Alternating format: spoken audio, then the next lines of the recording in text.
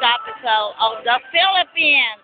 Loie is here with her Auntie Shala and Kuya Mickey, spending Christmas in Sanggup City, the city of Christmas lights. Tuya kay guys katirin ani. Yes, guys katirin na sa